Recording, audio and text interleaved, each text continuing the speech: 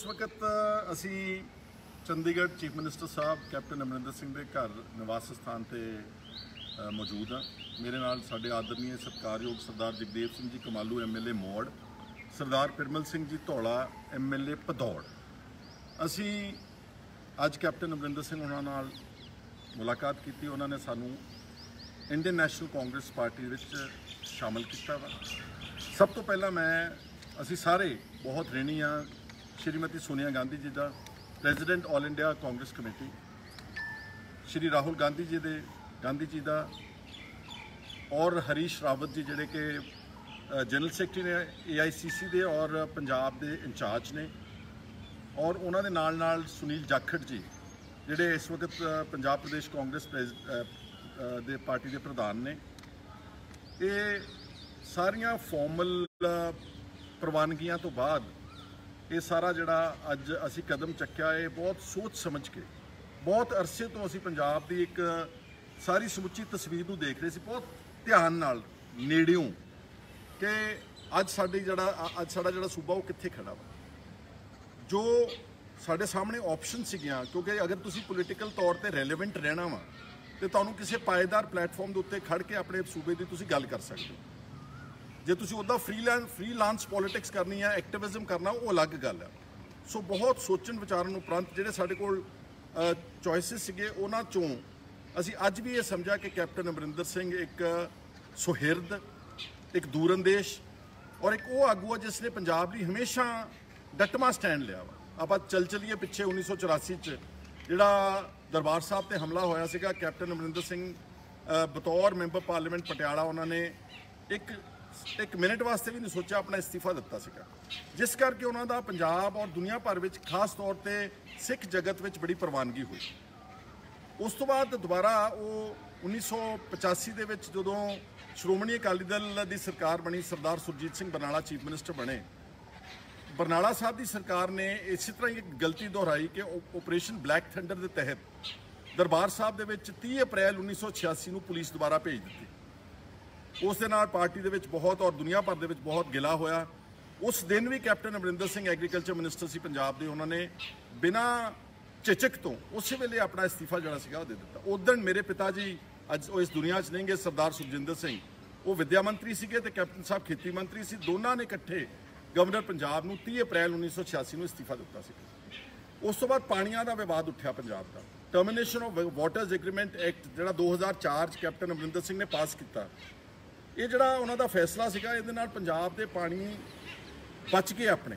ਵਰਨਾ ਹੋ ਸਕਦਾ ਸੀ ਸਤਲੁਜ ਯਮਨਾ ਲਿੰਕ ਨਹਿਰ ਅੱਜ ਬਣ ਕੇ ਪੰਜਾਬ ਦਾ ਪਾਣੀ ਹਰਿਆਣੇ ਵਿੱਚ ਚਲੇ ਜਾਂਦਾ। 15 18 ਸਾਲ ਜੇ ਅਗਰ ਪੰਜਾਬ ਦਾ ਪਾਣੀ ਬਚਿਆ ਤਾਂ ਉਹਦੇ ਚ ਕੈਪਟਨ ਅਮਰਿੰਦਰ ਸਿੰਘ ਦਾ ਉਹ ਠੋਸ ਫੈਸਲਾ ਸੀਗਾ। ਉਹਦੇ ਨਾਲ ਪਾਰਟੀ ਹਾਈ ਕਮਾਂਡ ਵੀ ਨਾਰਾਜ਼ ਹੋਈ ਇਹਨਾਂ ਦੇ ਨਾਲ।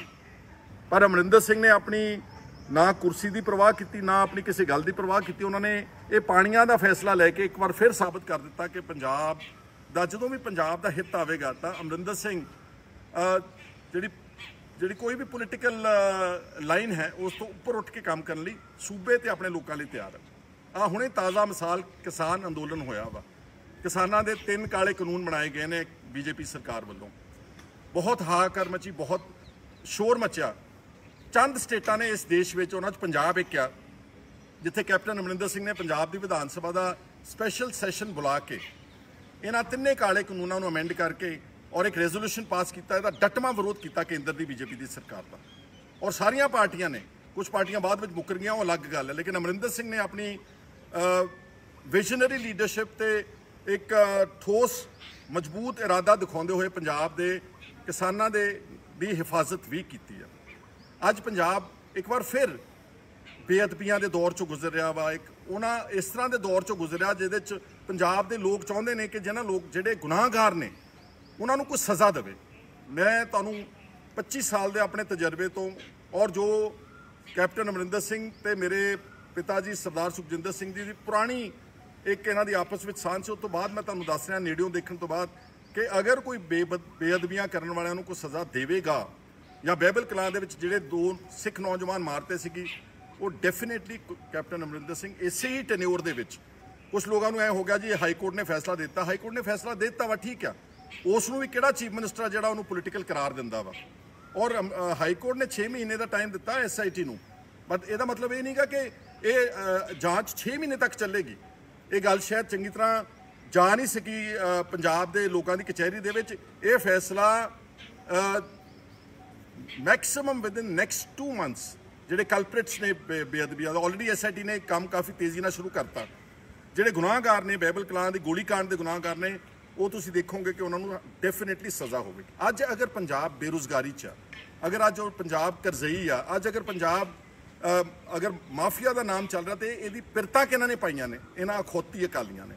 ਇਸ ਬਾਦਲ ਦੇ ਪਰਿਵਾਰ ਨੇ, ਨਾਲੇ ਤਾਂ ਇਹਨਾਂ ਨੇ ਅਕਾਲੀ ਦਲ ਦੇ ਉੱਤੇ ਟੱਬਰ ਦਾ ਕਬਜ਼ਾ ਕਰਕੇ ਉਸ ਇੱਕ ਸ਼ਾਨਾ ਮੱਤਾ ਪਾਰਟੀ ਨੂੰ ਬਰਬਾਦ ਕਰ ਦਿੱਤਾ ਉਹਨੂੰ ਜੜੋਂ ਉਖਾੜ ਕੇ ਰੱਖ ਦਿੱਤਾ ਪੰਜਾਬ ਦੇ ਵਿੱਚ। ਐਸਜੀਪੀਸੀ ਦਾ ਦੁਰਉਪਯੋਗ। ਅੱਜ ਵੀ ਦੁਰਉਪਯੋਗ ਕਰ ਰਿਹਾ Sukhbir Singh Badal for personal political whims and fancies Akal Takht Sahib ਨੂੰ ਨਹੀਂ ਬਖਸ਼ਿਆ ਗਿਆ ਉੱਥੋਂ ਦੇ ਜਥੇਦਾਰ ਆਪਣੇ ਥੋਪ ਕੇ ਹੱਥ ਟੋਕੇ ਲਾ ਕੇ ਤੇ ਉਹਨਾਂ ਜਥੇਦਾਰਾਂ ਕੋਲੋਂ ਗਲਤ ਫੈਸਲੇ ਪ੍ਰਕਾਸ਼ ਸਿੰਘ ਬਾਦਲ ਨੇ 2015 ਦੀ ਅ, 16 ਸਪਟੈਂਬਰ ਜਥੇਦਾਰ ਅਕਾਲ ਤਖਤ ਉਸ ਵੇਲੇ ਸੀ ਗਿਆਨੀ ਗੁਰਬਚਨ ਸਿੰਘ। ਤੇ ਜਥੇਦਾਰ ਦਮਦਮਾ ਸਾਹਿਬ ਦਾ ਸੀਗਾ ਜਿਹੜੇ ਗਿਆਨੀ, ਉਹਨਾਂ ਦਾ ਨਾਮ ਮੈਨੂੰ ਇੱਕਦਮ ਚੇਤੇ ਨਹੀਂ ਆ ਰਿਹਾ। ਅਕਾ, ਜਿਹੜੇ ਤਖਤ ਦਮਦਮਾ ਸਾਹਿਬ ਦੇ ਗੁਰਮੁਖ ਸਿੰਘ, ਗਿਆਨੀ ਗੁਰਮੁਖ ਸਿੰਘ, ਉਹਨਾਂ ਨੂੰ ਇੱਥੇ ਬੁਲਾ ਕੇ ਤੇ ਜਿਹੜਾ ਡੇਰਾ ਸੱਚਾ ਸੌਦਾ ਦੇ ਸਾਧ ਨੂੰ, ਮੁਖੀਆ ਨੂੰ ਜਿਹੜਾ ਮਾਫੀਨਾਮਾ ਦਿੱਤਾ ਗਿਆ ਨਾ ਅਕਾਲ ਤਖਤ ਸਾਹਿਬ ਤੋਂ 24 ਸਪਟੈਂਬਰ 2015 ਨੂੰ, ਤਾਂ ਕਿ ਉਹਦੀ ਫਿਲਮ ਰਿਲੀਜ਼ ਹੋ ਜਾਏ ਅਗਲੇ ਦਿਨ 25 ਸਪਟੈਂਬਰ ਨੂੰ ਐਮਐਸਜੀ ਜਿਹੜੀ ਫਿਲਮ ਬਣਾਈ ਸੀ ਡੇਰਾ ਸੱਚਾ ਸੌਦਾ ਸਾਥ ਨੇ ਉਸ ਨੂੰ ਰਿਲੀਜ਼ ਕਰਨ ਲਈ, ਦੋਨੋਂ ਪਿਓ ਪੁੱਤ ਬਾਦਲਾਂ ਨੇ ਇਸੇ ਰਹਿائش ਵਿੱਚ ਜਥੇਦਾਰ ਅਕਾਲ ਤਖਤ ਨੂੰ ਬੁਲਾ ਕੇ ਇੱਥੇ ਉਪਦੇਸ਼ ਦਿੱਤਾ ਤੇ ਉਹ ਉਪਦੇਸ਼ ਐਮਰਜੈਂਸੀ ਮੀਟਿੰਗ ਕਰਕੇ 25 24 ਸਪਟੈਂਬਰ 2015 ਨੂੰ ਜਿਹੜਾ ਜਾਰੀ ਕੀਤਾ ਗਿਆ ਫਰਮਾਨ, ਜਿਹੜਾ ਕਿ ਸਿੱਖਾਂ ਦੇ ਵਿੱਚ ਇੱਕ ਬਹੁਤ ਵੱਡਾ ਉਬਾਲ ਹੋਇਆ। ਬਹੁਤ ਵੱਡਾ ਵਿਰੋਧ ਹੋਇਆ। ਉਸ ਤੋਂ ਬਾਅਦ ਉਹ ਜਥੇਦਾਰਾਂ ਨੂੰ ਉਹ ਹੁਕਮਨਾਮਾ ਵਾਪਸ ਲੈਣਾ ਪਿਆ।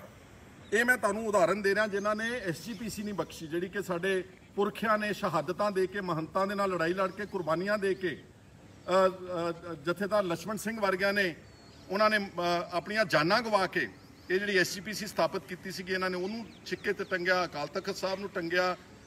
10 ਸਾਲ ਪਿਛਲੇ ਪੰਜਾਬ ਨੂੰ ਦੋਨਾਂ ਹੱਥਾਂ ਦੇ ਨਾਲ ਲੁੱਟ ਕੇ ਜੋ ਇਹਨਾਂ ਨੇ ਆਪਣੀ ਜਾਇਦਾਦ ਬਣਾਈ, ਜੋ ਇੱਕ ਇਲ ਗੋਟਨ ਵੈਲਥ ਜਿਹੜਾ ਐਮਪਾਇਰ ਖੜਾ ਕੀਤਾ ਦੇਸ਼ਾਂ ਵਿਦੇਸ਼ਾਂ 'ਚ, ਕੋਈ ਸੂਬਾ ਨਹੀਂ ਜਿੱਥੇ ਇਹਨਾਂ ਦੇ ਫਾਰਮ ਹਾਊਸ ਨਹੀਂਗੇ ਇਸ ਲਈ ਇਹਨਾਂ ਨਾਲ ਲੜਨਾ ਬਹੁਤ ਜ਼ਰੂਰੀ ਇਹਨਾਂ ਨਾਲ ਹੁਣ ਅਸੀਂ ਅਲੱਗ ਥਲੱਗ ਪਏ ਰਵਾਂਗੇ, ਕਿੱਦਾਂ ਲੜਾਂਗੇ? ਇਸ ਲਈ ਇੱਕ ਤਾਂ ਇਹ ਕਾਰਨ ਸੀਗਾ। ਦੂਸਰਾ, ਇੱਥੇ ਫਰਜ਼ੀ ਇਨਕਲਾਬੀ ਬਹੁਤ ਫਿਰਦੇ ਨੇ। ਮੈਂ ਸਮਝਦਾ ਕਿ ਘੱਟੋ ਘੱਟ ਮੈਂ ਕਹਿ ਸਕਦਾ ਕਿ ਆਮ ਆਦਮੀ ਪਾਰਟੀ ਨੂੰ 2015 ਜੁਆਇਨ ਕਰਨਾ ਮੇਰਾ ਇਹ ਪੋਲੀਟੀਕਲ ਬਲੰਡਰ ਸੀਗਾ। ਮੇਰੇ ਤੋਂ ਗਲਤੀ ਹੋਈ ਆ। ਮੈਂ ਉਹਦੀ ਗੱਲਾਂ ਵਿੱਚ ਆਣ ਕੇ ਉਸ ਨੂੰ ਇਹ ਸਮਝ ਕੇ ਕਿ ਵਾਕਈ ਦੇਸ਼ ਵਿੱਚ ਜਾਂ ਪੰਜਾਬ ਦੇ ਵਿੱਚ ਕੋਈ ਕੁਆਲਿਟੇਟਿਵ ਚੇਂਜ ਲਿਆਉਣਗੇ ਪੋਲੀਟੀਕਲ ਕਲਚਰ ਵਿੱਚ। ਅਸੀਂ ਤਾਂ ਆਪਣੇ ਉਹਨੇ ਇਮਾਨਦਾਰੀ ਨਾਲ ਜੁਆਇਨ ਕੀਤਾ ਸੀਗਾ। ਉੱਥੇ ਜਾ ਕੇ ਪਤਾ ਲੱਗਿਆ ਕਿ ਇਹ ਡਬਲ ਫੈਸੇਟਡ ਪਰਸਨੈਲਿਟੀ ਆ। ਦੋਗਲੇ ਚਿਹਰੇ ਦੇ ਮਾਲਕ ਨੇ। ਕੰਪਲੀਟ ਡਿਕਟੇਟਰਸ਼ਿਪ ਆ। ਕਿਸੇ ਪਾਰਟੀ ਦੇ ਵਿੱਚ ਇੰਨੀ ਜ਼ਿਆਦਾ ਜਕੜ ਨਹੀਂ ਕਿ ਜਿੰਨੀ ਅਰਵਿੰਦ ਕੇਜਰੀਵਾਲ ਨੇ ਆਮ ਆਦਮੀ ਪਾਰਟੀ ਦੇ ਕੀਤੀ। ਔਰ ਐਂਟੀ ਮਾਈਨੋਰਿਟੀਜ਼ ਫੇਸ ਦਾ ਇਹਨਾਂ ਦਾ ਹੁਣ ਖੁਲਾਸਾ ਹੋਇਆ। ਜੰਮੂ ਕਸ਼ਮੀਰ ਦੇ ਦੋ ਟੋਟੇ ਕੀਤੇ ਗਏ। ਔਰ ਉਸ ਨੂੰ ਉਸ ਦਾ ਸਾਰੇ ਹਕੂਕ ਖੋਏ ਗਏ। ਕੇਜਰੀਵਾਲ ਨੇ ਬੀਜੇਪੀ ਦੀ ਸਪੋਰਟ ਕੀਤੀ। ਸਿਟੀਜ਼ਨ ਅਮੈਂਡਮੈਂਟ ਐਕਟ ਬਣਾਇਆ ਗਿਆ। ਬੀਜੇਪੀ ਵੱਲੋਂ ਮਾਈਨੋਰਿਟੀਜ਼ ਦਾ ਘਾਣ ਕੀਤਾ ਗਿਆ। ਅਰਵਿੰਦ ਕੇਜਰੀਵਾਲ ਨੇ ਉਹਨਾਂ ਦੀ ਸਪੋਰਟ ਕੀਤੀ। ਮਾਈਨੋਰਿਟੀਜ਼ ਦੇ ਖਿਲਾਫ ਮਿੱਥ ਕੇ ਦੰਗੇ ਕੀਤੇ ਗਏ ਦਿੱਲੀ ਸ਼ਹਿਰ ਦੇ ਵਿੱਚ। ਆ ਹੁਣੇ ਸ਼ਾਹੀਨ ਬਾਗ ਦੇ ਮੋਰਚੇ ਤੋਂ ਬਾਅਦ ਇਹ ਇੱਕ ਮੂਕ ਦਰਸ਼ਕ ਬਣ ਕੇ ਬੈਠੇ ਰਹੇ। ਯੁਆਪਾ ਵਰਗੇ ਕਾਲੇ ਕਾਨੂੰਨ ਜਦੋਂ ਬੀਜੇਪੀ ਘੜ ਰਹੀ ਸੀ, ਬਣਾ ਰਹੀ ਸੀ, ਜਿੱਥੇ ਸੁਖਬੀਰ ਬਾਦਲ ਉਹਨੇ ਦੀ ਸਪੋਰਟ ਕਰ ਰਿਹਾ ਸੀ, ਵੋਟ ਪਾ ਰਿਹਾ ਸੀ, ਕੇਜਰੀਵਾਲ ਦੀ ਪਾਰਟੀ ਨੇ ਉਸ ਨੂੰ ਵੋਟ ਪਾ ਕੇ ਟਾਡਾ ਦੀ ਰਿਪਲੇਸਮੈਂਟ ਪੋਟਾ ਦੀ ਰਿਪਲੇਸਮੈਂਟ ਬਣਾ ਕੇ ਕਾਲਾ ਕਾਨੂੰਨ ਬਣਾਇਆ।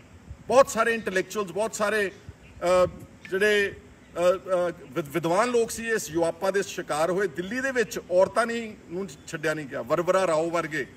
ਔਰ ਅੰਬੇਦਕਰ ਸਾਹਿਬ ਦੇ ਪੋਤੇ ਤੇ ਯੁਆਪਾ ਲਾਇਆ ਗਿਆ, ਲੇਕਿਨ ਅਰਵਿੰਦ ਕੇਜਰੀਵਾਲ ਨੇ ਕੋਈ ਇਹਦੇ ਚ ਹਾਂ ਦਾ ਨਾਰਾ ਨਹੀਂ ਮਾਰਿਆ। ਇਸ ਕਰਕੇ ਉਹ ਇੱਕ ਜਿੱਦਾਂ ਬੀਜੇਪੀ ਦੀ ਇੱਕ ਬੀ ਟੀਮ ਦੀ ਤਰ੍ਹਾਂ ਕੰਮ ਕਰ ਰਹੇ ਨੇ। ਪੰਜਾਬ 'ਚ ਉਹਨਾਂ ਨੇ ਮੈਂ ਸਮਝਦਾ ਕਿ ਅਨਡੈਮੋਕ੍ਰੈਟਿਕ ਤਰੀਕੇ ਨਾਲ ਜਿੰਨੇ ਐਮਐਲਏ ਸੀ ਸਭ ਨੂੰ ਟਵਿੱਟਰਾਂ ਦੇ ਉੱਤੇ ਦਬਾ ਦਬਾ ਕੇ ਬਟਨ, ਚਾਹੇ ਉਹ ਛੋਟੇਪੁਰ ਸਾਹਿਬ ਹੈ ਚਾਹੇ ਉਹ ਗਾ- ਡਾਕਟਰ ਗਾਂਧੀ ਸੀ, ਚਾਹੇ ਉਹ ਗੁਰਪ੍ਰੀਤ ਘੁੱਗੀ ਸੀ, ਤੇ ਚਾਹੇ ਅਸੀਂ ਸਾਰੇ ਉਹਨਾਂ ਦੇ ਸ਼ਿਕਾਰ ਹੋਏ ਆ। ਕਿਉਂਕਿ ਉਹ ਕਿਸੇ ਨੂੰ, ਉਹ ਕਿਸੇ ਇਸ ਤਰ੍ਹਾਂ ਦੇ ਵਿਅਕਤੀ ਨੂੰ ਪਸੰਦ ਨਹੀਂ ਕਰਦੇ ਜਿਹੜਾ ਉਹਨਾਂ ਦੀ ਅੱਖ 'ਚ ਅੱਖ ਪਾ ਕੇ ਗੱਲ ਕਰ ਸਕੇ। ਸੋ ਮੈਂ ਸਮਝਦਾ ਕਿ ਕਿਤੇ ਨਾ ਕਿਤੇ ਇਹ ਗਲਤੀ ਸੀ ਔਰ ਅੱਜ ਮੈਂ ਸਵੀਕਾਰ ਤੱਕ ਸਾਥ ਦਿੱਤਾ। ਮੈਨੂੰ ਅੱਛੀ ਤਰ੍ਹਾਂ ਯਾਦ ਹੈ ਪ੍ਰਸ਼ਾਂਤ ਕਿਸ਼ੋਰ, ਜਿਹੜੇ ਮੀਡੀਆ ਦੇ ਸਾਰੇ ਇੰਚਾਰਜ ਸੀ, ਕਾਂਗਰਸ ਦੇ 2017 ਦੀ ਚੋਣ 'ਚ ਮੈਨੂੰ ਇਲੈਕਸ਼ਨਾਂ ਤੋਂ 3 ਮਹੀਨੇ ਪਹਿਲਾਂ ਮਿਲੇ ਸੀਗੇ। ਉਹਨਾਂ ਨੇ ਕਿਹਾ, ਸਾਡੀ ਪੰਜਾਬ ਦੇ ਵਿੱਚ ਕਾਂਗਰਸ ਸਰਕਾਰ ਬਣ ਰਹੀ ਹੈ ਤੇ ਤੂੰ ਕਾਂਗਰਸ ਵਿੱਚ ਜੇ ਅੱਜ ਵੀ ਆ ਜਾਏਗਾ ਤੈਨੂੰ ਅਸੀਂ ਕੈਬਨਿਟ ਮਿਨਿਸਟਰ ਬਣਾਵਾਂਗੇ। ਮੈਂ ਕਿਹਾ, ਹੁਣ ਮੈਂ ਫੈਸਲਾ ਇੱਕ ਵਾਰ ਜਦੋਂ ਕਰ ਚੁੱਕਿਆ ਨਾ ਜਿੱਤ ਹੋਵੇ ਜਾਂ ਹਾਰ ਹੋਵੇ, ਮੈਂ ਇਸੇ ਪਾਰਟੀ ਦੇ ਨਾਲ ਭੁਗਤਾਂਗਾ। ਇਲੈਕਸ਼ਨਾਂ ਹੋਈਆਂ, ਉਸ ਵਿੱਚ ਅਸੀਂ ਫੁਲਕਾ ਸਾਹਿਬ ਬਣੇ ਲੀਡਰ ਆਫ ਆਪੋਜੀਸ਼ਨ ਅੱਛਾ ਰੋਲ ਅਦਾ ਕੀਤਾ। ਉਹ ਤੋਂ ਬਾਅਦ ਮੈਨੂੰ ਮੌਕਾ ਮਿਲਿਆ ਇੱਕ ਸਾਲ, ਜਿੰਨੀ ਵੀ ਮੇਰੇ ਇਮਾਨਦਾਰੀ ਸੀਗੀ, ਕਿਉਂਕਿ ਉਸ ਵਕਤ ਜੋ ਪੰਜਾਬ ਲਈ ਮੈਂ ਸਮਝਦਾ ਸੀ, ਠੀਕ ਆ, ਅਗਰ ਜੋ ਕੁਝ ਹੋ ਰਿਹਾ ਸੀਗਾ, ਅਸੀਂ ਉਹਦਾ ਬਤੌਰ ਇੱਕ ਲੀਡਰ ਆਫ ਆਪੋਜੀਸ਼ਨ ਆਪਣਾ ਰੋਲ ਅਦਾ ਕੀਤਾ। ਔਰ ਉਸ ਤੋਂ ਬਾਅਦ ਜਿਸ ਢੰਗ ਦੇ ਨਾਲ ਇਹਨਾਂ ਨੇ ਆਪ ਟਵਿੱਟਰ ਦੇ ਉੱਤੇ ਐਮਐਲਏ ਨੂੰ ਕੱਢ- ਕੱਢ ਕੇ ਬਾਹਰ ਮਾਰਿਆ, ਪਾਰਟੀ ਆਪ ਖਰਾਬ ਕਰ ਦਿੱਤੀ। ਅੱਜ ਜਿਹੜੀ ਪਾਰਟੀ ਕਹਿੰਦੀ ਸੀ ਨਾ, ਤੁਸੀਂ ਸੁਣਦੇ ਰਹੇ ਹੋ ਇਹਨਾਂ ਦਾ ਲੋਕਲ ਪ੍ਰਧਾਨ ਪੰਜਾਬ ਦਾ ਹਮੇਸ਼ਾ ਕਹਿੰਦਾ ਕਿ ਅਸੀਂ ਪੈਂਚਰ ਵਾਲਿਆਂ ਨੂੰ ਟਿਕਟਾਂ ਦੇਵਾਂਗੇ ਰੇੜੀਆਂ ਵਾਲਿਆਂ ਨੂੰ ਟਿਕਟਾਂ ਦੇਵਾਂਗੇ ਆਮ ਆਦਮੀ ਨੂੰ ਟਿਕਟਾਂ ਦੇਵਾਂਗੇ ਤੇ ਅੱਜ ਜਿਹੜੇ ਜੁਆਇਨ ਕਰਾ ਰਹੇ ਨੇ, ਕੌਣ ਹੈ ਬੰਦੇ ਇਹ? ਆ ਹੁਣੇ ਜਗਜੀਵਨ ਪਾਲ ਖੀਰਨੀਆ ਅਕਾਲੀ ਦਲ ਦਾ ਐਕਸ ਐਮਐਲਏ ਸਮਰਾਲੇ ਤੋਂ ਜੁਆਇਨ ਕੀਤਾ। ਦਰੀਆਂ ਕੋਈ ਚੱਕਦੇ ਰਹਿ ਗਏ ਨੇ, ਡਾਂਗਾ ਕੋਈ ਖਾਂਦੇ ਰਹਿ ਗਏ ਨੇ, ਪਰ ਉਹਨਾਂ ਦਾ ਹੈਗਾ ਵਾ, ਕੇਡਰੋ ਖਾਂਦਾ ਰਹਿ ਗਿਆ ਵਾ। ਤੇ ਹੁਣ ਜਦੋਂ ਸਮਾਂ ਆ ਰਿਹਾ ਇਲੈਕਸ਼ਨਾਂ ਦਾ, ਉਦੋਂ ਰਵੈਤੀ ਪਾਰਟੀਆਂ 'ਚ ਉਹੀ ਬੰਦੇ ਜਿਹੜੇ ਕੱਲ ਤੱਕ ਬੇਅਦਬੀਆਂ ਦੇ ਤੇ ਬਹਿਬਲ ਕਲਾਂ ਦੇ ਦੋਸ਼ੀ ਸੀ ਤੇ ਕਰਪਸ਼ਨ ਦੇ ਤੇ ਸੁਖਬੀਰ ਬਾਦਲ ਦੇ ਭਾਈਵਾਲ ਸੀਗੇ, ਅੱਜ ਉਹ ਆਮ ਆਦਮੀ ਪਾਰਟੀ ਵਿੱਚ ਲਿਆ ਕੇ ਦੁੱਧ ਧੋਤੇ ਲਿਆ ਕੇ ਉਹਨਾਂ ਨੂੰ ਮੂਹਰੇ ਕਰ ਦਿੱਤਾ।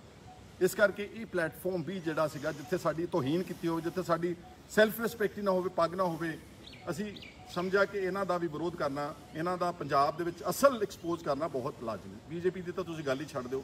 ਸਭ ਤੋਂ ਜ਼ਿਆਦਾ ਨਫ਼ਰਤ ਦੀ ਪਾਤਰ ਜਮਾਤ ਬੀਜੇਪੀ, ਜਿਸ ਢੰਗ ਦੇ ਨਾਲ ਫਾਸਿਸਟ ਰਾਜ ਕਰ ਰਹੀ ਹੈ ਜਿੱਦਾਂ ਫੈਨੈਟਿਕ ਰੂਲ ਕਰ ਰਹੀ ਹੈ ਜਿੱਦਾਂ ਕਿਸੇ ਵਕਤ ਮੁਗਲਾਂ ਦਾ ਰਾਜ ਸੀਗਾ ਇਸ ਦੇਸ਼ ਦੇ ਵਿੱਚ, ਸਿਰਫ ਪਹਿਰਾਵਾ ਇਸ ਵਕਤ ਜਮਹੂਰੀਅਤ ਦਾ ਵਾ। ਪਰ ਅਲਟੀਮੇਟਲੀ ਅੰਦਰੋਂ ਤੁਸੀਂ ਦੇਖੋਗੇ ਉਹਨਾਂ ਦਾ ਤਾਨਾਸ਼ਾਹ ਰਾਜ ਚੱਲ ਰਿਹਾ ਮੈਜੋਰਿਟੀ ਦਾ ਦੁਰਉਪਯੋਗ ਕਰ ਰਹੇ ਨੇ। ਕਿਸਾਨ ਵਿਰੋਧੀ ਕਾਨੂੰਨ ਆਵਾਜ਼ ਦੇ ਨਾਲ ਹੀ ਰਾਜ ਸਭਾ ਵਿੱਚ ਧੱਕੇ ਨਾਲ ਪਾਸ ਕਰਾ ਦਿੱਤੇ ਨੇ। ਸਾਰੇ ਵਾਈਟਲ ਇੰਸਟੀਟਿਊਸ਼ਨਸ ਇਸ ਕੰਟਰੀ ਦੇ, ਚਾਹੇ ਉਹ ਇਲੈਕਸ਼ਨ ਕਮਿਸ਼ਨ ਆਫ ਇੰਡੀਆ ਵਾ, ਚਾਹੇ ਉਹ ਸੀਬੀਸੀ ਹੈ ਚਾਹੇ ਉਹ ਇਨਫੋਰਮੇਸ਼ਨ ਕਮਿਸ਼ਨ ਹੈ, ਚਾਹੇ ਉਹ ਹਿਊਮਨ ਰਾਈਟਸ ਕਮਿਸ਼ਨ ਹੈ ਨਾਰਮਲ ਕੋਰਸ ਵਿੱਚ chief justice of India retired ਹਮੇਸ਼ਾ ਹੈਡ ਕਰਦੇ ਰਹੇ ਨੇ ਹਿਊਮਨ ਰਾਈਟਸ ਕਮਿਸ਼ਨ ਨੂੰ, ਲੇਕਿਨ ਇਸ ਵਾਰ ਪਹਿਲੀ ਵਾਰ ਹੈਂਡ ਪਿਕਡ ਜੱਜ ਨੂੰ, ਇੱਕ ਜੱਜ ਨੂੰ ਉਹਨਾਂ ਨੇ ਉਸ ਦਾ ਬਣਾ ਕੇ ਇਹ ਸਾਬਤ ਕਰ ਦਿੱਤਾ ਕਿ ਅਸੀਂ ਸੰਵਿਧਾਨ ਤੇ ਕਨਸਟੀਟਿਊਸ਼ਨ ਵਿੱਚ ਸਾਡਾ ਕੋਈ ਯਕੀਨ ਨਹੀਂ ਹੈ। ਉਹ ਜ਼ੋਰ ਨਾਲ ਔਰ ਕੀ ਕਹਿੰਦੇ ਆ, ਫਿਰਕਾ ਪ੍ਰਸਤੀ ਦੇ ਨਾਲ ਔਰ ਖਾਸ ਤੌਰ ਤੇ ਅਕਲੀਅਤਾਂ ਦੇ ਖਿਲਾਫ ਇੱਕ ਏਜੰਡਾ ਬੀਜੇਪੀ ਜਿਹੜਾ ਲੈ ਕੇ ਚੱਲੀ ਤੇ ਕਿਸਾਨਾਂ ਦੇ ਖਿਲਾਫ ਜਿੱਦਾਂ ਉਹਨਾਂ ਨੂੰ ਬੈਠਿਆਂ ਨੂੰ ਵਿਚਾਰਿਆਂ ਨੂੰ ਪੁੰਜੇ ਇੰਨੇ ਮਹੀਨੇ ਹੋ ਗਏ ਨੇ 6 ਮਹੀਨੇ ਤੋਂ ਜ਼ਿਆਦਾ ਕਦੀ ਉਹਨਾਂ ਨੂੰ ਖਾਲਿਸਤਾਨੀ ਕਹਿੰਦੇ ਨੇ ਕਦੀ ਉਹਨਾਂ ਨੂੰ ਨਕਸਲਵਾਦੀ ਕਹਿੰਦੇ ਨੇ ਕਦੀ ਉਹਨਾਂ ਨੂੰ ਅਹ, ਅੱਤਵਾਦੀ ਕਹਿੰਦੇ ਨੇ ਕਦੀ ਉਹਨਾਂ ਨੂੰ ਕਿਸੇ ਤਰ੍ਹਾਂ ਦਾ ਕਦੀ ਕਹਿੰਦੇ ਪਿਕਨਿਕ ਕਰਨ ਆਏ ਨੇ। ਇਸ ਲਈ ਬੀਜੇਪੀ ਨੂੰ ਡਿਫੀਟ ਕਰਨਾ ਇਹ ਮੈਂ ਸਮਝਦਾ ਕਿ ਹਰ ਠੀਕ ਸੋਚ ਰੱਖਣ ਵਾਲੇ ਅਗਰ ਜਿਹੜੇ ਦੋਸ਼ ਅਗਰ ਦੇਸ਼ ਹਿਤੈਸ਼ੀ ਜਿਹੜੇ ਨੇ ਇਹਨਾਂ ਨੂੰ ਇਹਨਾਂ ਨੂੰ ਡਿਫੀਟ ਕਰਨ ਵਾਸਤੇ ਕਿਸੇ ਪਲੇਟਫਾਰਮ ਨੂੰ ਚੁਣਨਾ ਬਹੁਤ ਜ਼ਰੂਰੀ ਸੀਗਾ। ਔਰ ਮੈਂ ਅੰਤ 'ਚ ਇੱਕ ਗੱਲ ਕਹਿਣਾ ਚਾਹੁੰਦਾ ਕਿ ਇਹ ਨਹੀਂ ਕਿ ਅਸੀਂ ਕੋਸ਼ਿਸ਼ ਨਹੀਂ ਕੀਤੀ। ਮੈਂ ਬਹੁਤ ਸਾਰੇ ਲਾਈਕ ਮਾਈਂਡਡ ਲੀਡਰਸ ਨੂੰ ਪਿਛਲੇ ਡੇਢ ਸਾਲ ਤੋਂ ਇਕੱਠੇ ਕਰਕੇ ਸਮਝਾਉਣ ਦੀ ਕੋਸ਼ਿਸ਼ ਕੀਤੀ ਕਿ ਆ ਜਿਹੜੀਆਂ ਛੋਟੀਆਂ-ਛੋਟੀਆਂ ਪਾਰਟੀਆਂ ਬਣਾਈਆਂ ਇਹਨਾਂ ਨੂੰ ਬੰਦ ਕਰ ਦਿਓ। ਆਓ ਆਪਾਂ ਸਾਰੇ ਇਕੱਠੇ ਹੋਈਏ। ਪੰਜਾਬ ਦੇ ਲੋਕ ਵਿਕਲਪ ਭਾਲਦੇ ਸੀ। ਆਪਾਂ ਵਿਕਲਪ ਬਣਾਉਣ ਦੀ ਕੋਸ਼ਿਸ਼ ਕਰੀ, ਲੇਕਿਨ ਮੈਂ ਹੁਣ ਕਿਸੇ ਦਾ ਨਾ ਖੁਲਾਸਾ ਕਰਨਾ ਚਾਹੁੰਦਾ, ਨਾ ਕਿਸੇ ਦਾ ਨਾਮ ਲੈਣਾ ਚਾਹੁੰਦਾ, ਲੇਕਿਨ ਅਸੀਂ ਉਹਦੇ ਵਿੱਚ ਮਕਸਦ 'ਚ ਕਾਮਯਾਬ ਨਹੀਂ ਹੋਏ। ਹਲਕਾ ਪੁਲਤ ਜਿਹੜਾ, ਉਹਦਾ ਸਾਡੇ ਨਾਲ 50 ਸਾਲ ਦਾ ਤੁਲਕ ਹੈ 50 ਇਅਰਸ 72 ਵਿੱਚ ਮੇਰੇ ਪਿਤਾ ਜੀ ਸਰਦਾਰ ਸੁਖਜਿੰਦਰ ਸਿੰਘ ਨੇ ਪਹਿਲੀ ਇਲੈਕਸ਼ਨ ਲੜੀ ਸੀ। 50 ਸਾਲ ਦੇ ਲੋਕਾਂ ਦੇ ਨਾਲ ਜਿਹੜੇ ਜਜ਼ਬਾਤ ਜਿਹੜੇ ਮੈਨੂੰ ਚੋਣ ਜਿਤਾ ਕੇ ਅਸੈਂਬਲੀ ਵਿਧਾਨ ਸਭਾ ਭੇਜਦੇ ਨੇ, ਮੈਂ ਉਹਨਾਂ ਦੀ ਜਜ਼ਬਾਤਾਂ ਦੀ ਵੀ ਕਦਰ ਕਰਨੀ, ਉਹ ਪਿਛਲੇ ਡੇਢ ਦੋ ਸਾਲ ਤੋਂ ਮੈਨੂੰ ਨਿਰੰਤਰ ਕਹਿ ਰਹੇ ਸੀਗੇ ਕਿ ਸਾਡੀ ਤੁਸੀਂ ਆਵਾਜ਼ ਸੁਣੋ ਔਰ ਆਪਣੀ ਪੁਰਾਣੀ ਪਾਰਟੀ ਕਾਂਗਰਸ ਦੇ ਵਿੱਚ ਵਾਪਸ ਆਓ ਤਾਂ ਕਿ ਆਪਾਂ ਆਪਣੇ ਇਲਾ- ਇਲਾਕੇ ਦੀ, ਆਪਣੇ ਸੂਬੇ ਦੀ ਗੱਲ ਜ਼ੋਰਦਾਰ ਢੰਗ ਨਾਲ ਇੱਕ ਵਾਇਬਲ ਅੱਛੇ ਪਲੇਟਫਾਰਮ ਤੋਂ ਉਠਾ ਸਕੀਏ। ਇਹਨਾਂ ਸਾਰੀਆਂ ਗੱਲਾਂ ਨੂੰ ਮੱਦੇਨਜ਼ਰ ਰੱਖ ਕੇ ਅਸੀਂ ਜਿਹੜਾ ਫੈਸਲਾ ਲਿਆ ਵਾ, ਮੈਂ ਆਪਣੇ ਕੁਲੀਗਸ ਦਾ ਬਹੁਤ ਰਿਣੀ ਆ ਕਿਉਂਕਿ ਇਹਨਾਂ ਨੇ ਵੀ ਆਪਣੀ ਸ਼ੁਰੂਆਤ ਜ਼ਿੰਦਗੀ ਦੀ ਬਤੌਰ ਸਧਾਰਨ ਆਦਮੀ ਕੀਤੀ। ਪਰ ਜਿਸ ਤਰ੍ਹਾਂ ਦੇ ਨਾਲ, ਇਹਨਾਂ ਦੇ ਨਾਲ ਜਿਹੜਾ ਪਾਰਟੀ ਨੇ ਜੋ ਦੁਰਵਿਵਹਾਰ ਕੀਤਾ, ਜੋ ਤੋਹੀਨ ਕਰਨ ਦੇ ਉਪਰਾਲੇ ਕੀਤੇ, ਇਹਨਾਂ ਸਾਰੇ ਇਹਨਾਂ ਨੇ ਵੀ ਸੋਚਿਆ ਔਰ ਇਹਨਾਂ ਨੇ ਵੀ ਸੋਚਿਆ ਕਿ ਪੰਜਾਬ ਦੇ ਵਿੱਚ ਅਗਰ ਕੋਈ ਹੋਰ ਅਗਰ ਕਿਸੇ ਪਲੇਟਫਾਰਮ ਤੇ ਜਾ ਕੇ ਵਾਕਈ ਅਸੀਂ ਪੰਜਾਬ ਦੀ ਸੇਵਾ ਕਰ ਸਕਦੇ ਹਾਂ, ਤੇ ਉਹ ਕਾਂਗਰਸ ਪਾਰਟੀ ਦਾ ਪਲੇਟਫਾਰਮ ਹੀ ਆ ਔਰ ਇਸ ਲਈ ਇਹਨਾਂ ਨੇ ਜਿਹੜਾ ਫੈਸਲਾ ਮੈਂ ਇਹਨਾਂ ਦਾ ਵੀ ਬਹੁਤ ਰਿਣੀ ਧੰਨਵਾਦ